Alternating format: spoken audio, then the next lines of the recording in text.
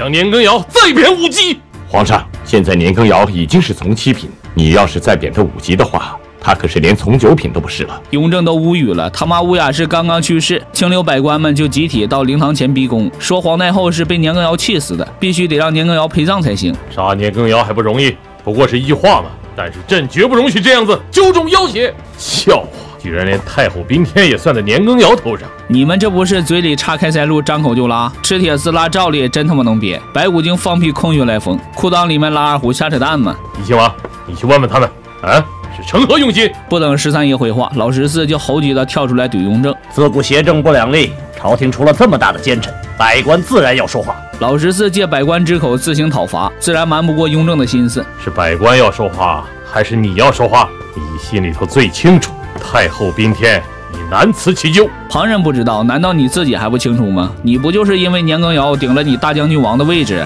你不就是想给咱妈煽风点火，好让她逼我妥协，派你去西北接年羹尧的班吗？咱妈要不是因为这些小九九，能血压飙升撒手人寰吗？可即便事实如此，老十四根本不可能承认。皇上，太后宾天的时候，只有你我在场，你要把这个罪都按在我的头上，我无话可说。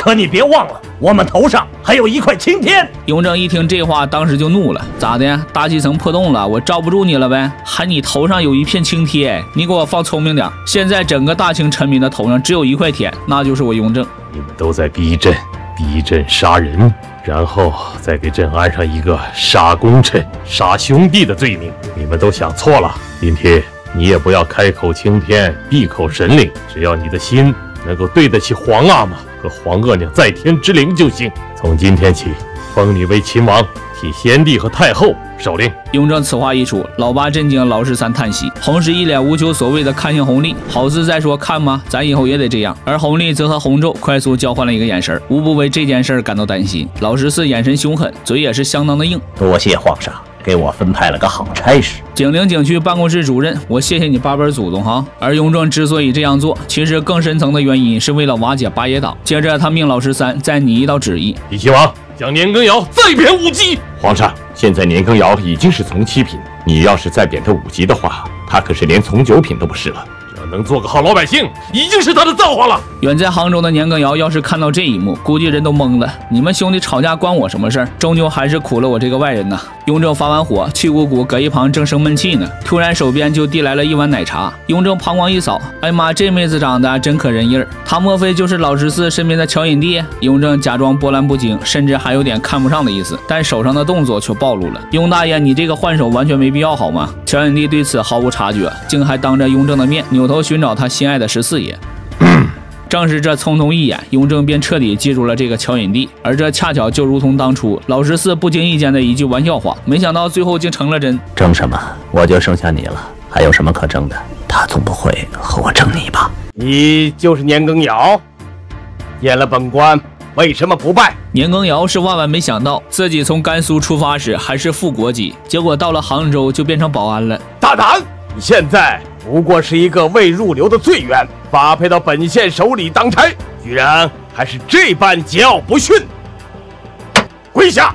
跪下！年羹尧心说：“归你奶奶个腿儿！你没听说过瘦死的骆驼比马大吗？就算一个月之内连贬十八级，就算老子现在无官无职，也不是你一个小小的县令能拿捏的。”年羹尧不露声色，扭头就开始解包袱。众人十分不解，满脸疑惑的探头张望。谁知下一秒，年羹尧竟直接拿出了一件他曾经嗤之以鼻、毫不稀罕的黄马褂，当众抖了三抖，然后再反手披在身上。县太爷都懵了，他的马甲上怎么没有字？这莫不是传说中的黄马褂吧？县太爷不知。如何是好？思考了三秒，最终还是决定先给这位大爷跪了。看着刚刚非常嚣张的芝麻小官全都跪在自己脚下，年羹尧的心中那叫一个酸爽。但紧接着新的问题又出现了：小小的杭州县衙该怎么安置这个无品无级的前绥远大将军呢？总不能让他给县衙站岗，那以后进进出出不都他娘的得跪一下子？县太爷没了招，只好给两江总督李卫取信，询问他该给年羹尧派个什么差事。李卫收到信后立即回复道：“蠢材，皇上只是将他革职，并没有定罪。”给他找个远远离市区的事业编，工资照发，五险一金照买，千万不要羞辱他。县太爷收到回信，如释重负，立马就给杭州城东年久失修的庆春门临时安排了一个保安编制。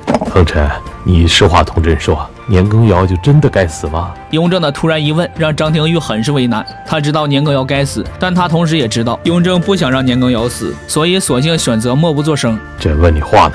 即便雍正有些生气，可张廷玉还是没有说话。见老张摆出一副死了弟弟的表情，雍正的语气瞬间就软了下来。怎么想就怎么说吧。回皇上，各省的督府都上折子说话了，这件事应该有个了断了。皇上，您现在在整顿吏治，而年羹尧仅贪污一项就已经达到了四百六十万两，算上行贿受贿、挪用公款、克扣军饷，怎么着都得上千万了。何况还有大不敬之罪九，跋扈之罪十。种种罪名累计有九十二款之多，朝廷虽然有义功一说，但是功过相抵，他仍然死有余辜。虽然雍正心中早有准备，但张廷玉的结论一出，还是让他有些慌乱，竟无意间打翻了刚送来的普洱。你说，朕听着呢。接着说，雍正心里的顾虑，张廷玉全都知道。雍正不是不愿意杀年羹尧，他只是担心处置的过于急切，会让他背上刻薄寡恩、滥杀功臣的罪名。为了帮雍正下定决心，张廷玉直接给了年羹尧致命一击。我听说年羹尧在杭州守城门，仍然穿着黄马褂，傲然居坐。皇上，礼服折子上说的一段话至为透彻。年羹尧现在仍然穿着黄马褂，昭示于城门之下，招摇于闹市之中。